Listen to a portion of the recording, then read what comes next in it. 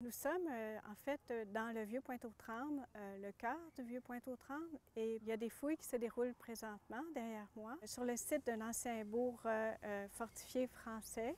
son existence nous avait été révélée par les actes notariés, mais il fallait vérifier sa présence là, sur le terrain. Présentement, sur le chantier, on est six archéologues qui travaillent pendant cinq semaines pour faire la fouille préalable aux travaux qui vont se faire ici pour créer le site de la place du village. Premièrement, on effectue ce qu'on fait, une excavation mécanique pour enlever les sols euh, qui ne sont pas d'intérêt, c'est-à-dire toute l'infrastructure de la chaussée, parce qu'ici, on est vraiment dans le boulevard Saint-Jean-Baptiste. Et avec une pelle mécanique, on retire tous ces sols-là. En dessous, c'est le tissu archéologique qui reste. Depuis plusieurs années, la Ville de Montréal intervient dans les emprises publiques qui présentent un potentiel archéologique.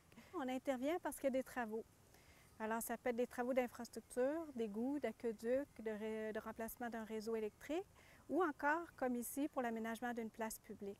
Généralement, ce qu'on retrouve, c'est ce que les gens jettent ou euh, perdent.